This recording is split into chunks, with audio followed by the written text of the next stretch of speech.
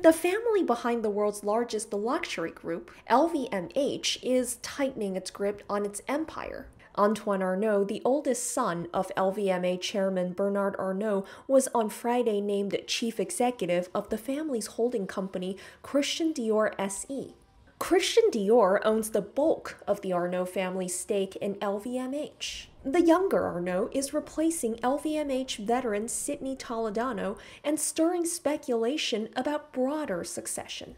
He's one of Arnault's five children, all of whom hold senior positions in LVMH, the group behind fashion houses Louis Vuitton and Christian Dior, as well as labels from champagne to five star hotels.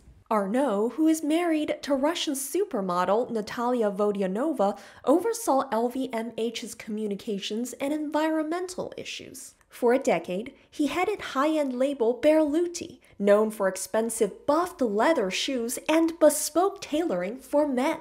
His father, Bernard, has not publicly named a successor. According to Forbes, Bernard Arnault briefly took over the title of the world's richest man earlier this year, edging out Elon Musk before slipping back to the number two spot. It was the first time a person outside tech landed at the top spot in nine years.